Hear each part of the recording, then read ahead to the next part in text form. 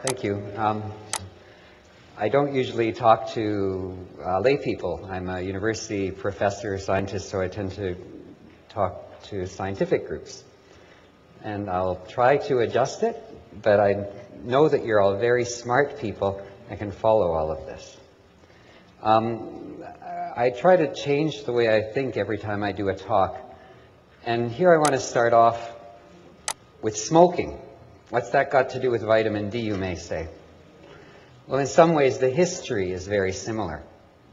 Because this guy that we've got in the picture here, um, his name is Richard Doll. He's one of the most famous medical scientists in England. And what he became famous for was the evidence that says smoking kills you, that causes lung cancer, and uh, he's uh, grown to a pretty ripe age. He died just a couple of months ago. And in the last uh, couple of years, he's still an active researcher. Not in smoking, but the thing that interested him. He'd really like to get straight whether we can prevent old people from falling and having fractures by giving them more vitamin D. He was involved in some pretty interesting studies, and the reason I looked up his name, I thought, you know, it seems like a pretty interesting name. I had seen it in various publications. And this is one of his most famous publications. And what they did um, in 1951, 1951, they essentially kept track of British doctors and kept track of whether they were a heavy smoker, which is the bottom line there, or a light smoker, and they tracked them until 1991. And what this is is a survival curve. In other words, if in 1951 you were alive and you were 35 years of age, and there's a whole bunch of guys just like you, and if they were not smokers, they're that top curve that you see here in the figure. And at age 35 in 1950, they had an 80% chance of living to age 70 if they didn't smoke. If they did smoke, their chance of living to age 70 was 50%. This is a pretty good piece of evidence, but it's just one of a lot of kinds of evidence. And what I'm going to show you about vitamin D, in some ways, is like this. One reason why he was interested in osteoporosis, vitamin D, is the fact that bone and bone disease can do harm to you. And I just want to give you a very quick overview. This is a, a, an x-ray on the left of a hip. And the point of it is, your bones are like a structural material. Nature has designed your bones so that they carry you just like a bridge and the steel in a bridge carries you. But as you get older, you start to lose the amount of material that's making your bones strong. And that depends to some degree on how old you are because your bones get weaker and weaker as you do age. It depends on your family history. Heavy people actually have better bones than light people perceived health. People who think that they're healthier actually have less hip fractures. Perhaps they live more healthy lifestyles and the like. But there's a key thing about this fracture, the one I'm showing you. It's the worst kind of fracture you can have. And here's why. Again, the pictures here are survival curves. Okay, on the left we have women, and on the right we have men. And if you are a woman who is aged 60, the top line there, so that if, you if today you're age 60, you have, at least statistically, more than an 80% chance of seeing your 80th birthday. If you're a man and you're 60, you have about just over a 70% chance of seeing your 80th birthday if you're 60 years old today. If tomorrow you break a hip, the numbers change a lot.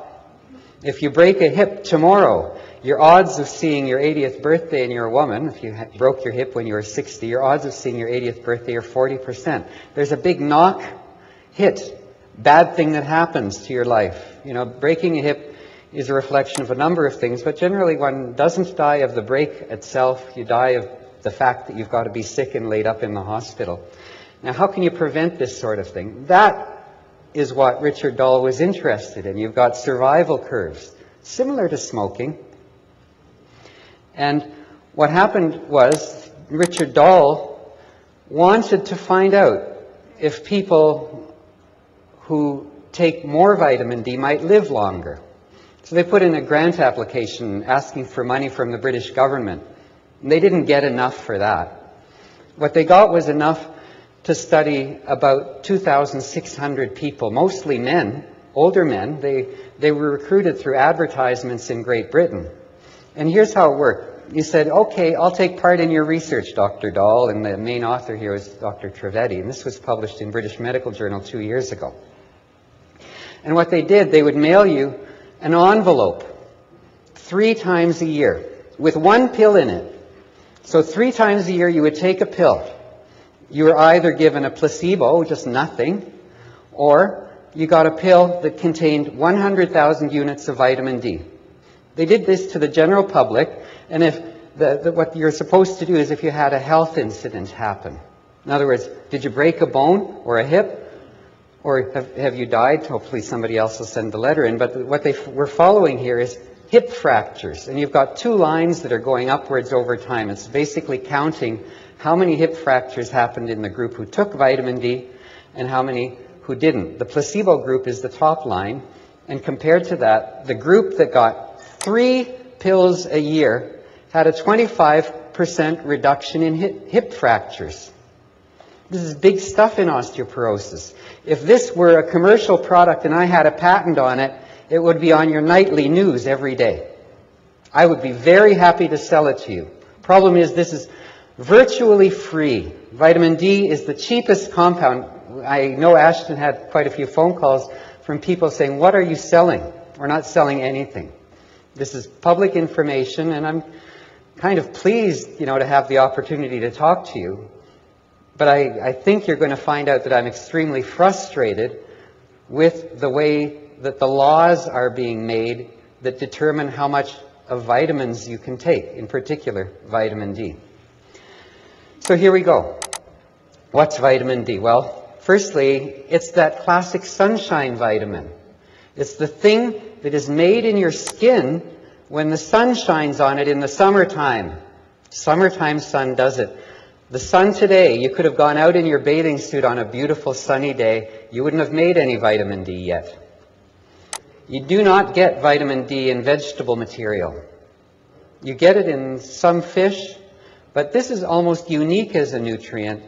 You don't get much of it in the foods that you naturally eat. And lastly, some books call vitamin D a hormone. It is definitely not a hormone. Like cholesterol is, you need cholesterol in order to make estrogen or testosterone. Like that, vitamin D is the raw material that your body uses to make a special hormone called 125 dihydroxyvitamin D, or you can think of it as the vitamin D hormone. Okay, you do not eat the hormone, you eat the raw material your body needs in order to make it. So the way it works is ultraviolet light, the stuff that dermatologists tell you to keep out of, is the stuff that sunscreen blocks so the skin, skin cannot make vitamin D. Ultraviolet light breaks open a cholesterol-like molecule in your skin and it turns it into vitamin D. Another name for it is cholecalciferol. So if right now you've got some vitamin D, within about three days, it would get converted into something called 25-hydroxyvitamin D. And that stays in your body for several months. For the rest of this winter, the vitamin D that you made last summer, a month ago, has got to survive you and carry you through to March. And you can get a blood test that's called 25-hydroxy-D assay, and it's paid for by provincial health insurance in most provinces of Canada. And you can get it measured, and I'll show you what you should expect to find. Now, the old story about vitamin D, the one that relates to bone disease, is that the kidney is a hormone-producing gland. The kidney senses how much calcium your body needs and what the balance of calcium is. And if you have too little calcium, it sends out a hormone into the bloodstream called 125-dihydroxyvitamin D, and it makes your intestine absorb calcium better. If you need more calcium, this is one thing that you eat where if you don't have enough, your intestines actually get better at absorbing the calcium. And it's that vitamin D hormone that does it. That's old news. Okay, so over the last decade or so, we've got a different story. We had that old news story about the kidney. You need calcium to get your, I mean, you need your vitamin D to get calcium. But now, there's a new part of the story. Lots of different tissues throughout your body utilize that 25 hydroxy vitamin D so that they can control how they behave. They utilize vitamin D in order to send signals within the tissue to control how that tissue behaves. And some of those things that the vitamin D does, and we know it from basic laboratory research that ends up in university libraries that you never ever see. What does it do within a petri dish? Well, what it does, for example, it helps cells to differentiate. When cells are reproducing, differentiating is a word that says that a cell knows the kind of cell that it's supposed to be in the end. If a cell does not differentiate well, it could become very easily a cancer-like cell because a cancer cell doesn't know what it's supposed to be. Breast cancer is a breast cancer cell, a breast cell that didn't differentiate properly, for example. So here's how it works. During the summer, when the sun is shining very high in the sky, what you get is the full spectrum of sunshine hitting the earth. And it's those colors that are just beyond the purple, colors that you cannot see, the ultraviolet, that are what create vitamin D in your body. Now, as the sun goes down in the sky through the seasons, when it's low in the sky, the thing that happens is we end up losing some of the colors out of the sky, some of the colors we can't see, but those are the ones that eliminate vitamin D from our bodies. We don't get an introduction of vitamin D. From here until the end of March, you are in a vitamin D winter. You're in the dark. And you can see this change in color yourself. For example, as the sun is setting very low in the sky, you don't see the colors purples and blues anymore. You can actually see this loss of color, and some of it happens beyond what you can see. Now, what effect does that have on skin? Now, in anthropology, people recognize that skin color varies, of course. Anthropology is the study of human biology and how we developed as human beings. And there are problems. If you had too much sunshine on you, of course you know you'll get skin cancer or burned. But worse, the thing that affects your ability to have a baby is that within the blood vessels under your skin, high intensity ultraviolet light breaks down nutrients within the capillaries of your skin. The key one being folic acid. A lack of folic acid results in spina bifida and babies that don't survive very well. So what we ended up doing early on is that we had melanin. It's a dark color within the skin. Melanin protects the skin from ultraviolet light, but it also blocks the ability or slows down the ability of your skin to make this thing we call vitamin D. Now here's a map of the world. And what you've got here are lines across it. In the middle are those parts of the world where at any day of the year you can walk outside and you're going to get vitamin D through sunshine. Now, what happened over time is people migrated away from the equator and they moved either north or south in the world to areas where the sun is sometimes so low in the sky for as much as one to six months at those latitudes that I'm showing you, or for more than half the year at many latitudes in Scandinavian countries. There are parts of the year where most of the time you don't get enough sunshine outside, even on a sunny day, to make this thing. Now, down below you have uh, something I'm going to try to show you, and theoretically, human skin colors change depending on where ancestors lived for people. Most of the people in this room, for example, had ancestors that lived probably in that no vitamin D to, for one to six month zone.